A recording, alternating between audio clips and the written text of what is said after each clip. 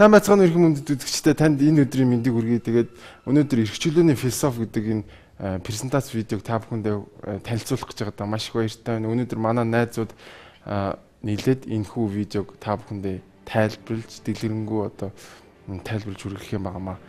Тэгээд энэ видеотой анх 6 жилийн өмнө танилцж ирсэн.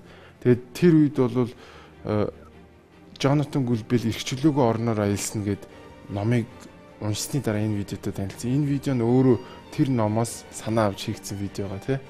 Тэгээд энэ видеог үзээд эрх чөлөөний философиг ингэж энгийнээр тайлбарлсан байхыг хараад бас баярлаад ер нь монгол хэл дээр орчуулъя гэсэн санаа гарч ирсэн. Анх удаага энэ видеог үзэж байхад маш гүн сэтгэл төрж ирсэн. Тэгээд энэ л зүйлийг одоо үзэгч та бүхэнд хүргэхийнсэн, олон хүнд хүргэхийнсэн, ойлгуулахынсан, монгол хэл дээр орчуулад гаргачихсан гэсэн үсэл маш их байсан. Бидний ярих гэж байгаа энэ зүйл маань ямар нэгэн одоо тэр нацизм, фашизм, социализм, социализм энэ биш л дээ. Энэ бол таныг төрсөнтэй чинь л хамтдаа ирсэн зам ёсны эрх эрхийн тухай асуудал байгаа. Хүн төрөлхтний түүхэнд гурван эзэмсэн систем байсан гэж үздэг. Нэгдүгürt нь бол хаан эзэн бусдыг эзэмших. Учир нь юу вэ гэхээр бурхнаас бурхны хүү бол бүх байгаль дэлхий хороо ертөнцийн дээр байгаа бүгдийг эзэмших ёстой гэдэг нэг үзэл байсан. Хоёрдугаарт нь бол олонхоороо бусдыг эзэмчих. Олонх цөөхөө захирах ийм систем байсан. Гурав дахь нь бол хүн болвол өөрөө өөрийгөө эзэмших хэрэгтэй байна гэж үзсэн. Ийм учраас хүний аз жаргал тэр хайр дурлал хүнд байгаа хүсэл зориг мэдрэмж нь зөвхөн хүнд өөрт нь байдаг учраас энэ нь өөрөө жамсны төрөлхийн зүйл учраас хүн өөрөө өөрийгөө мэдэх хэрэгтэй юм байна. Хүн өөрөө өөрийгөө эзэмших хэрэгтэй гэсэн энэ ойлголт бий болж гисэн. Тэм ч учраас хүн төрлөختний түүх бүхэлдээ тэр аяараа эрх чөлөөний төлөө дайцсаар ирсэн тийм л түүх байсан. Тийм учраас өнөөдөр та бүхэнд хүргэж байгаа энэ презентацийн нь бол эрх чөлөөний философийн тухай презентацийн юм. Эрх чөлөөний философи нь хүн өөрийгөө мэдэх зарчим дээр суурилдаг. Өөрийгөө мэдэх. Өөрөө өөрийгөө мэднэ гэдэг нь юу гэсэн үг юм бэ гэхэлэр та өөрөө өөрийнхөө амьдралтай холбоотой бүх шийдвэрийг өөрөө мэдэж гаргана л гэсэн үг. Ямар мэрэгжил эзэмших үү? Ямар сургууль сурах уу? Хаана хинтээ амьдрах уу те? Цаашлаад юу худалдаж авах уу? Гэх мэтлэн бидний амьдралд өдөр тутам маш их тэр өөрөө өөрийгөө мэдэх, өөрөө өөрийн чөлөөт сонголттой холбоотой асуудлууд байнгын гарч идэг. Та өөрийнхөө амьдралыг мэдэж шийднэ. Үгүй бол таны амьдралыг танаас илүү мэдэж шийдэхийг бусдад зөвшөөрнө гэсэн үг та өөрийнхөө амьдралыг үгүй би мэдэж шийдэхгүй ч гэдэг юм уу эсвэл та өөрийнхөө сонголт хийх эрхээс татгалзах юм бол өөр хин нэг хүн таны тэр сонголтыг чинь мэдэж шийдэж эхэлдэг. Ямар ховц өмсгөө ч гэдэг юм уу эсвэл би ямар хүнтэй суух уу ямар мэрэгчлээ болох уу гэд та өөрөө мэдэхгүй эргэлзэж хин нэгнээс тусламж авах тэр үед хин нэг хүн таны сонголтыг байнга хийж идэг гэсэн үг тий. Тий. Одоо жишээлх юм бол хэдийн ажил мэрэгжлээ сонгоцсон хүмүүсийн хувьд аваад үзэх юм бол бид нар хүүхэд байхасаа л том болоод ямар хүн болох уу гэл олон янзаар бодож бодож яг шийдвэр гаргах тэр мөчтөр ирэхээр өөрсдийн тийм шийдвэргүй болоод ойр дотныхноос маш их асуудаг. Магадгүй өөрөө өөр зүйл хүсэжсэн ч гэсэн хин нэгний тулгасан тэр чи энэ сургуульд энэ л мэрэгжлийг эзэмшигсэн тэр зүйлийг бид нар өөрөө ирэхгүй хийсэн. Бидний дунд маш олон хүмүүс байдаг байх гэж бодож байна. Нэг хүн дангаараа эсвэл бүлэг хүмүүс ч бай. Таны амьдралыг мэдэж шийдэхгүй. Таач бусдын амьдралыг мэдэж шийдэх эрхгүй. Таны амьдралыг нэг хүн эсвэл хэсэг бүлэг хүн мэдэж шийдэх эрх байхгүй. Маш олон тохиолдолд бид нар ингээд нэг хүн ингээд миний амьдралыг заагаа зааварчлаад ирэхлээр хөөе яагаад миний амьдралд оролцоод байна гэж хэлдэг мөртлөө анги хамт олон одоо юу гэдэг нийгэм төр гэдэг зүйл ороод гараад ирэнгүүт бид нэр гайхаад зогсчдөг. Энэ үнэхээр минийрээ миний амьдралыг шийдэх ёстой ч юм болов тий. Энэ манай одоо юу гэдэг манай ангийнхан миний амьдралыг мэдчихэж магадгүй эсвэл манай гэр бүлч гэдэг юм тий. Иймэрхүү байдлаар олон хүнтэй болоод ирэнгүүт бид нэр бусад хүн миний амьдралыг шийдэх ёстой байж магадгүй гэж боддог. А яг үнэндээ бол олуула байна уу Эсвэл бол нэг хүн дангаараа байна уу? Таны амьдралын шийдвэрүүдийг мэдэж шийдэх хэрэггүй л гэсэн. Хүн цаг хугацаанд амьдардаг. Ирээдүй одоо өнгөрсөн. Эдгээр нь тодорхой утгатай. Амьдрал эрх чөлөө болон амьдрал эрх чөлөөний тань үр шим. Тэгээд яагаад ирээдүй гэдэг бол амьдрал одоо гэдэг бол эрх чөлөө өнгөрсөн гэдэг бол бидний үр шим юм бэ гэхэлэр хэрвээ бид нар амьдрал байж ижил биднэрт ирээдүй цаг байдаг. Тэ? Хэрвээ бид нар амьдрахгүй үед биднэрт ямар ч ирээдүй цаг байхгүй гэсэн. А яагаад одоо гэдэг бол эрх чөлөө юм бэ гэхэлэр яг бид нар одоо цаг дээр байнга сонголт хийж идэг. Тэ? Эрх чөлөө гэдэг бол өөрөө сонголт. Тэ? Тийм учраас эрх чөлөөтэй байна гэдэг нь сонголттой байна гэсэн. Хэрвээ чи яг одоо сонголт хийхгүй бол чамд эрх чөлөө байхгүй нэ гэсэн үг. Эрх чөлөө байхгүй нэ гэдэг нь чамд одоо цаг байхгүй нэ гэсэн. Аа тэгээд яагаад эрх чөлөө нь эрх чөлөө болон амьдралын маань үр шин өнгөрсөн цаг юм бэ гэхээр бид нар байнга өнгөрсөн цагт одоо тэр бидний бид нар бүх зүйлүүдээ байгуулж бүтээж босгосон байдаг тийм энэ зүйл бол бидний өнгөрсөн цаг. Та магадгүй нэг том хаустай эсвэл том компанитай байж магадгүй тийм энэ бол таны амьдрал эрхчлөөгөр бүтээсэн тэр зүйл тийм тийм учраас энийг өнгөрсөн цагтаа зөвлөж яваад байгаа. Амьдралаа алдна гэдэг ирээдүгээ алдна гэсэн үг. Эрх чөлөөгөө алдна гэдэг одоогоо алдна гэсэн үг. Амьдрал эрх чөлөөнийхөө үр шимээ алдна гэдэг түүнийг бий болгоход зарцуулсан өнгөрснөө алдна гэсэн үг. Өөрт байгаа тэр өмчөө алдна гэдэг бол чи өнгөрсөн цаг алдчихна гэсэн үг байхгүй тийм. Яг л одоо зүгээр нэг жишээ аваад үзье л да. Чи бүхэл бүтэн сарын турш нэг ресторанд хамаг хөлөө чилтэл те хамаг нэрвэ бараад хүмүүст үйлчлээд сарын турш зөөгч хийж үү. А тэгээ яг сарын дараа цалингаа аваад автобусанд явжсэн чи хин нэг хүн чиний карманаас цалин гэж булгаалж л тээ тийм. Энэ юу гэсэн үг вэ гэхээр чиний тэр өнгөрсөн нэг сарын турш хийсэн бүх хөдөлмөр байхгүй болчлоо гэсэн. Эн чин чи өнгөрсөн нэг сараа алдчихлаа гэсэн үг. Тэ? Тэрийг л одоо юм нэрлээд. Чи өмчөө алдна гэдэг үл чи өнгөрсөн цагаа алдчихсан юм аа гэсэн. Таны амьдрал эрх чөлөөний үр шим нь таны өмч. Чиний амьдрал эрх чөлөөний чи үр шим бол чиний өмч юм байна тий. Чи өөрийнхөө амьдралаар чи өөрийнхөө сонголтоор хийж бүтээсэн тэр зүйл бол чиний өмч. Чиний барьсан байшин чинь чиний босгосон бизнес, чиний компани чинь тий. Энэ бол чиний өмч. Амьдрал эрхчлэн ч үр шим. Өмч бол таны хөдөлмөрийн үр шим. Таны цаг хугацаа, энерги, авяас чадварын үр дүн юм. Өмч гэдэг бол заавал ямар нэг байдлаар хөдөлмөрлөж олддог тэр зүйл гэсэн үг. Тэ? ерөөсөө чамайг зүгээр ингээд дээшээ тэнгэр штэд амаа ангаагаад хөвчих чи өмчтэй болно гэж байхгүй. Чи заавал тэр зүйлд өөрийнхөө авиас чадвар тэ өөрийнхөө хүч чадал энерги тэ тэгээд чи өөрийнхөө цаг хугацааг тэр зүйл заавал зарцуулсан байх хэрэгтэй. Тэгэхгүйгээр чи хизэж өмчтэй болохгүй л гэсэн. Маш олон тохиолдолд хүмүүс ингээд одоо зүгээр сууж байгаа л өмчтэй болох юм шиг бодоод тэ. Хизээч тийм байхгүй. Та заавал ажил хийж л өмчтэй болно гэсэн санаа энэ хэсэгт ороод байгаа шүү тэ. Өмч гэдэг үгийг задлаад ойлгох юм бол өмчлөх эрх гэж бид нэр ярьдаг тийм эзэмших эрх, өмчлөх эрх гэд хоёр янзын эрх байдаг. Эзэмших эрх болохоор тэр зүйлийг би эзэмшиж ашиглаж болно. А гэхдээ захиран зарцуулж юм уу ямар нэгэн зүйлээр сольж хойлж юм уу болохгүй гэсэн үг. Тэгэхээр өмч гэдэг зүйлийг бид нар захиран зарцуулах эрхтэй болж таарж байна. Өмч бол байгальд ирэх зүйлийг хүний хэрэгцээнд тааруулан хувиргаснаар бий болдог. Өмч гэдэг бол тэр байгаль дээр байгаа зүйлс төр өөрийн авиас чадвараа өөрийн хөдөлмөрөө шингээгээд өөрийн хэрэгцээнд одоо нийцүүлж тэр гаргаж авсан зүйл байхгүй тий. Байгаль дээр одоо хэний ч хэрэгэлдэг зүйл ч тий. Магадгүй ой мод байд юм уу тий. Эсвэл ашигт малтан л гэж бид нэр их ярьдаг ч тий. Хадч болов одоо яг үүндээ л ашигт малтан л гэдэг чинь зүгээр л байгаль дээр байгаа хадч болов. А тэрийг бид нэр өөрсдийнхөө оюун ухаан өөрийнхөө хүч хөдөлмөрийг шингээгээд тэнцэнэс зис аалт одоо юу гэдэг тэрийг Одоо жишээл хамгийн энгийн жишээхэд зүгээр байгаль дээр байгаа модыг бид нэр өөрсдөө очиод өөрийнхөө хүч хөдөлмөрийг шингээгээд хөрөөдөж аваад тий тэгээд дундуур нь хөрөөдөд бан зулгаж ширээ хийгээд тавилаа гэж ингэж өөрийнхөө хөдөлмөрийг шингээсний үр дүнд энэ зүйл чиний өмч болно тий а түүнээс биш зүгээр байгаль дээр ургаж байгаа мод бол чиний өмч биш а харин чи тэр зүйлд өөрийнхөө хөдөлмөрийг шингээгээд өөрийнхөө хэрэгцээнд харуулж авч байгаа бол одоо тэгээд тэр бий болсон ширээ бол чиний өмч боллоо гэсэн ингэж өмчгдөг зүйл. Айгүй олон тохиолдолд монголчууд бас нэг ийм нэг буруу ойлголттой. Газар доор байгаа баялаг бол миний өмч гэж яриад байдаг шүү дээ. Яг үүндээ тэр зүгээр яг энэ бол илүү тунхагийн чанартай юм байна. Яг үнэндээ бол тэр бол хэний ч өмч биш болоогүй нэ гэсэн. Ягаад гэвэл тэнцээ ямар ч хөдөлмөр зарцуулагдаагүй те. Өмч гэдэг тэр процесс нь явагддаг байхгүй те. Хүний хэрэгцээнд нөх хэрэглэхгүй. Хэрэглэхтгүүц биш байгаа. А тэрийг ухаад гаргаж аваад за ингээд одоо хайлуулахад бэлэн болоо энэ бол өмч. А ухаж гаргаж авах 5000 метрийн дорж гэсэн маш хэмжээний алмаа зөвжүүлнэ шүү дээ. Тэрийг миний өмч гэж ярих бол ямар ч боломжгүй. Тийм. Тэгээд магадгүй үзэгч та бүхэн гайхаж иж магадгүй. Энэ өмч гэдэг зүйл маань байгаль дээрх зүйлсийг л хүний хэрэгцээнд зориулаад хувиргасан тэр зүйлсийг ярина.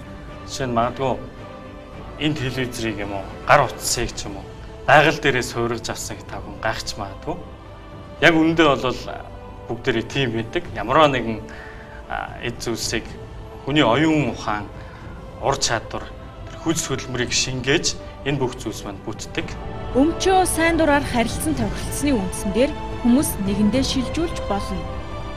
Ийхүү сайн дураар өмчөө шилжүүлснээр харилцан ашигтай эсвэл эрсдэлтэйч байж болно. Өөрийн гэсэн өмчтэй болсон хүмүүс шүү дээ. Байгаль дээр байсан одоо жишээ нь магадгүй загас агнаад те эсвэл баавга агнаад баавга арьстай болцсон. Нөгөө хүн нь болохоор мод байсан, модын хөрөөдөд ширээ сандал хийцэн байсан тий. За ингээд хоёр хүн хоёулаа өмчтэй. А тэгээд нэг нь одоо ширээтэй болмоор нөгөөх нь одоо магадгүй загасны мах идмэр байгаа шүү дээ. Тэгэд энэ хоёр өмчтэй хүний хооронд солилцоо бий болж идэг. Баян. Магадгүй нэг нь алт алт ухаад алттай болсон байж магадгүй нөгөөх нь илүү тариа тарьдаг ч юм уу тий. Иймэрхүү байдлаар өмчтэй болоод ингээд хоёр өмчтэй болцсон хүн харилцсан сайн дур зөвшөлсөний үндсэн дээр сайн дураар одоо солилцоонд ордог. Яг энийг одоо зүгээр юу гэдэг юм бэлэр энэ бол бизнес л баггүй. Одоо ингээд эн чинээс бизнес үүсэж гэсэн. Өмч байж иж бизнес бий болдог гэсэн. Бизнес гэдэг чинь ерөөсөө л өмчийн харилцан солилцооны л процесс шүү дээ тий. Бүхэл тэр эд хөрөнгийн харилцаанд орж байгаа тохиолдолд аль ч тохиолдлоор хиндээч ашигтай, хиндээч ашиггүй байж болно. А гагцгүй хамгийн гол чухал зүйл бол тэр тухайн солилцоонд орж байгаа шийдвэр нь хин хин өөрсдийн хүсэл зоригоор хин хин хүлээн зөвшөөрсөн байх хэвээр. Тэгсэндээ тэр хоёр хүн маань хоорондоо зөвшөлдсөж За би чиний ширийг 5 5 загсаар авъя гэхтэл нөгөө хүн за болж ийн окей гэж сольж байгаа гэсэн. Уучлаарай би 6 загсаар солино гэх юм бол тэр солилцоо явагдахгүй шүү дээ. Тий. А дөө би 6 загс гэхэд чи зөвшөөрөхгүй бол хоёрын хооронд солилцоо явагдахгүй. Тий яг зөв. А харин энийг чи яадаг ч байсан 6-аар заавал аваа гэд би ширэгэнд булааж авах юм бол энэ болохгүй болоо авчиж. Сайн дураар биш болоо авчиж.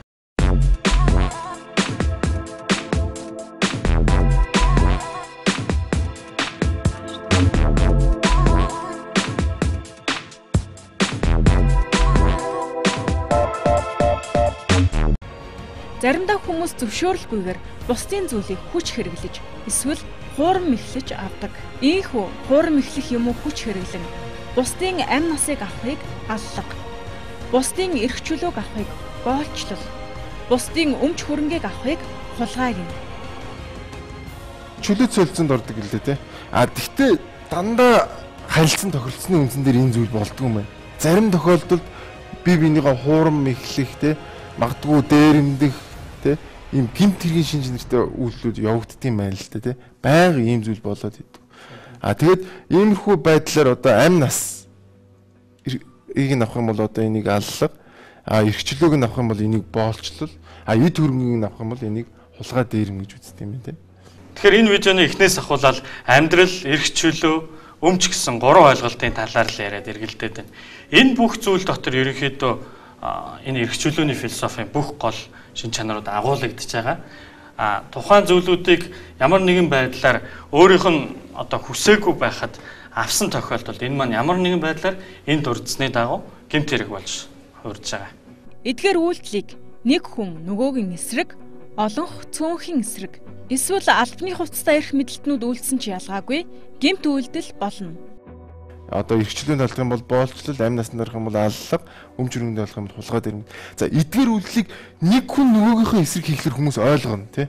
Өө чи яага миний юм хулгай хийчих тий. Эсвэл өө намайг яага алах гэдэг ч гэдэм үү тий. Ингээд а энэ үйлдэлийг олонх цөөнхийн эсрэг эсвэл хин нэг эрх мэдэлтэй хүн нөгөөгийнхөө эсрэг иргэний эсрэг ч гэдэг юм хийгээд ирэхлээр хүмүүс яг энэ хоёр дахь хэсгээс ахуулаад ойлгох байл гэдэг.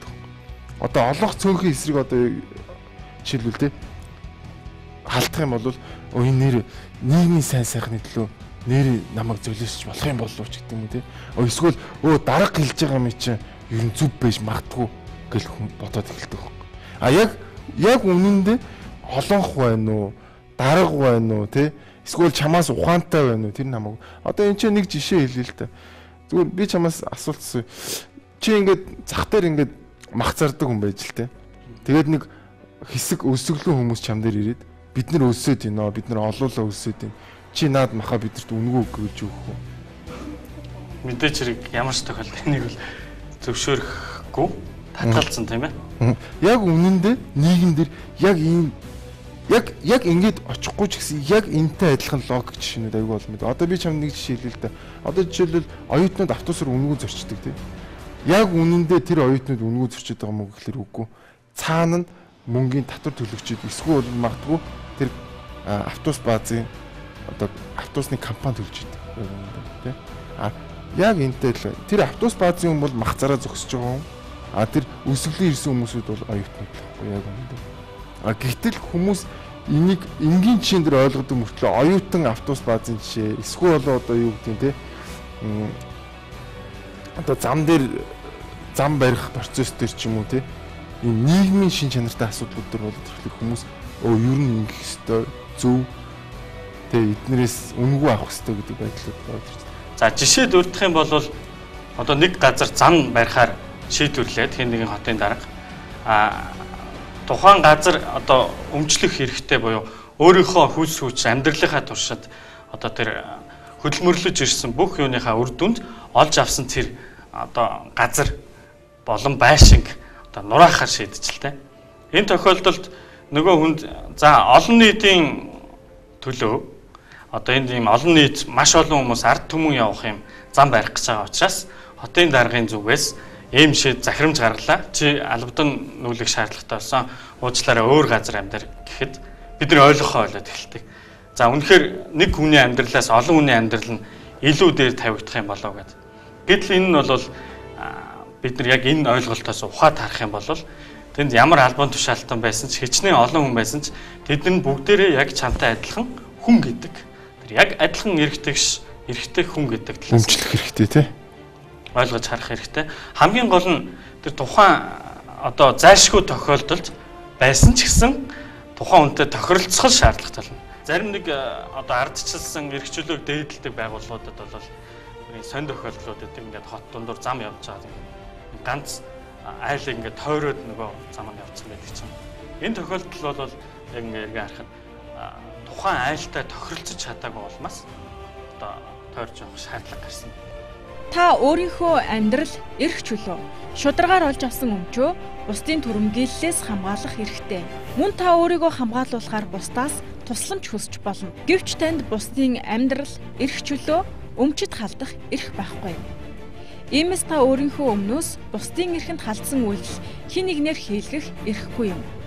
Хэрвээ хин нэг хүн таны одоо амьдрал, эрх чөлөө, амьдрал тэгээд хувийн өмчөнд халдах халдгаар ирэх юм бол та өөрийнхөө өмчийг хамгаалах эрхтэй. Учир нь гэвэл энэ бол таны өмч байхгүй тий. Өөр хин нэгний өмч. Та тэгэхээр яагаад гэвэл энэ эрх байгаа учраас та бусдаас өөрийн өмч хөрөн амнаас эрх чөлөөгөө хамгаалах хэрэгтэй гэсэн. Магадгүй их олон залуучууд таныг одоо зодох гот ч юм уу тий. Танд ямар нэгэн байдлаар занл хийлээд явж та бусдаас бас тусламж хүсээд бусдаар өөрийгөө бас хамгаалуулах эрхтэй. Бусад хүн таны өмч хөрөнгө эрх чөлөөнд халдаж болохгүйтэй яг адилхан танд ч ихсэн бусад хүний өмч хөрөнгө эрхчлөө их одоо амь насанд халдах ирэх бас байхгүй шүү гэдгийг ойлгоорой. Маш олон тохиолдолд хүмүүс оо миний өмч миний өмч миний өмчийг битээ халдч гэдэг юм уу эсвэл миний эрхчлөөнд битээ халд гэж хэлдэг мөртлөө а бусад хүмүүсийн өмчөнд халдах болохоор одоо оо энэ хүний өмчөнд халдаж болно ч гэдэг юм уу гэд яриад явж идэг тийм. Хэрвээ танд ирэх байгаа бол нөгөө хүнд ч гэсэн ирэх байгаа гэдгийг л маш сайн ойлгоё. Би санаж л да. Ингээ баг байхад одоо явж байгаад хин нэгэн найз минь ч юм уу хүн ч одуулчаар ирээд найзыг нь тэнд тэр сургуулийн тэм хөвгтөд зодчлаа. Тэгээ өмөрөөд найзуудаараа нийлээд ингээ зөрөөд очдөг. Магадгүй тэр зодсон хөвгтүүд нь олуула байж идэл бид нар тэднээс илүү олуула очсон тохиол бид нар бас зөрүүлээд зодчдаг ч юм уу тий. Энэ тохиол бас л яг нөгөө эц төгсгөлгүй юм хин энийхээ эрхийг зөрчөөд байгаа асуудал асуудлыг улам өндруулээд а яг энэ бусдаас тусламж хүсэх эрх гэж дөрвчийн ярьсантай уялдуулаад ярих юм бол би намайг зодчлоо би дахиж зодуулахгүй тул би хамгаалуулах юм уу ямар нэгэн байдлаар энэ ноцтой зөрчил болсон тохиолдолд тэр хуулийн хариуцлага хүлээх юм ийм байдлаар бол хандах боломжтой. Та өөрийнхөө хувьд манлайлагчаа сонгох эрхтэй. Гэвч бусад хүнийг түүгээр захируулах эрхгүй юм. Албан тушаалтнууд ямар ч аргаар сонгогдсон бай Тэд ялгаагүй хүн учраас тэд биднээс ангид онцгой эрхтэй биш. За бид хүн ямар нэгэн байдлаар одоо хувийнхаа хувьд манлайлагчаа сонгох эрх байдаг. Одоо энэ хүн үнэхээр мундаг хүн. Одоо энэ хүний хэлсний дагуу би гайхад бас гайгүй явчих байх ч гэдэг юм. Ямар нэгэн байдлаар гээд хин нэг нэг даган дуурайх, магадгүй хин нэгний заасны дагуу явах тохиолдол байж болно. Энэ эрх танд бол нээлттэй. А харин тэр тухайн тэр манлайлагч буюу өөрийнхөө хувьд мундаг гэж бодож байгаа тэр тухайн хүнээр бусдад бас тулгах эрх байхгүй. Энэ хүн ухаантай учраас энэ хүний хэлснийг даг энэ хүн хүчтэй учраас одоо энэ хүн та нар захирагдах ёстой гэдэг шахалтыг хийх хэрэггүй. Тийм. Тэгэхээр та тэр хүнийг итгэж үнэмшээд дагж байгаа нь бусад хүн заавал дагах ёстой гэсэн үг биш ээ л гэсэн үг тий. Та магадгүй Майкл Джексон сонсдог гэж болно. А гэхдээ бусад хүмүүс заавал Майкл Джексон сонсох албагүй л гэсэн санаа тий. Хүн болгон өөр өөрийнхөө өөр өөр гэсэн лидер манлайлагчаа сонгох хэрэгтэй Сүүлийн үед одоо манай залуучууд маш их ус төрждөг болсон байна. Энэ эрх нь бол бидэнд байгаа гагцгүй. Энэ нам бол хамгийн сайн нам аа. Одоо заавал энэ нам л ялах ёстой. Чи одоо энэ намыг дагах ёстой гэдэг юм. Ийм одоо эрх бол бидэнд байхгүй. Биднээс онцгой эрхтэй гэдэг нь юу гэсэн үг вэ гэхээр хэрвээ бид нар хүний өмч хөрөнгө амнаас эрхчлөөнд халдаж болохгүй бол тэр албан тушаалтан ч гэсэн хүний өмч хөрөнгө амь амнаас эрхчлөөнд халдаж болохгүй л гэсэн үг. Маш олон тохиолдолд хүмүүс албан тушаалт гараад ирэнгүүт энэ хүн хүний өмч хөрөнгө амь насанд магадгүй эрхчлөөнд халдаж болно гэж бодож эхэлдэг те. А гэхдээ яг үнэндээ бол тийм биш. Ягаад гэвэл тэд нар биднэртэй л адилхан хүн учраас биднэрт одоо биднээс илүү давуу ирэх гэж байхгүй л гэсэн. Тэд хичнээн өндөр албан тушаал хашиж байлаач эсвэл хичнээн хүн тэднийг дэмжиж байсан ч ялгаагүй албан тушаалтнууд хүн алах, боолчлох, хулгай хийх эрх байхгүй. Учир нь та өөрт байхгүй эрхээ бусдад шилжүүлэх боломжгүй юм. Хичнээн ч том эрх мэдэлтэй байсан ч гэсэн альсгүй бол хичнээн олон хүн тухайн хүнийг одоо дэмжиж илаа ч гэсэн тухайн хүн ялгаагүй одоо үндсэн энэ гурван гинт хэргийг хийх ямар ч эрх байхгүй гэсэн маш олон хүн дэмжиж ирэхлээр эсвэл их өндөр албан тушаал аваад ирэхлээр хүмүүс энэ хүн бол биднээс илүү их мэдл эдэлж болно гэж боддог тийм. А гэхдээ хичнээн олон хүн дэмжиж ийсэн ч гэсэн эсвэл хичнээн өндөр албан тушаалтай магадгүй улсын ерөнхийлөгч эсвэл нэгдсэн үндэсний байгууллага ерөнхий нарийн бичгийн дарга байсан эсвэл магадгүй Америкийн ерөнхийлөгч байлаа ч гэсэн тэр хүнд хүн алга хулгай хийх хүмүүсийг боолчлох хэрэг тэр хүнд байхгүй Тэрийг л маш сайн ойлгох хэрэгтэй. Түүхийн туршид хэрвээ олонх олонхон дэмжиж ирэх юм бол ч юм уу эсвэл бол магадгүй их э, албан тушаал их ям бидлээд ирэхлээр хүмүүсийн амь нас өмч хөрөнгө эрхчлөнд халдаж болдог байсан. А гэхдээ яг үнэндээ бол тийм биш. Ягаад гэвэл э, тэр хүн яг л биднэртэй адилхан хүн биднэртэй л адилхан эрх эдэлж байгаа. Хэрвээ танд хүн аллах, улгай хийх, хүн боолчлох эрх байхгүй бол тэр хүнд ч гэсэн баг. Харамсмаар түүхүүд бид хүн зөндөө мэднэ. Жишээлх юм бол Гитлер Германд тухайн үед Гитлерийг маш олон хүмүүс дэмжижсэн учраас босод хүмүүсийн эрхэнд халдаж эхэлсэн. Еврейчүүдийг хомроглон устгаж эхэлсэн. Тэгээд тухайн үед бол хүмүүс энэ Гитлерийг бол маш олон хүн дэмжиж байгаа учраас энэ еврей хүнийг бол алж болох юм байна.